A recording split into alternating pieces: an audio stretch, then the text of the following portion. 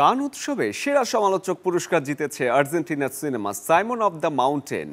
প্রথম সিনেমা দিয়েই সমান্তরাল বিভাগ ক্রিটিক্স উইকে সর্বোচ্চ পুরস্কার গ্রা প্রি জিতেছেন ছবির নির্মাতা ফেদেরিকো লুইস।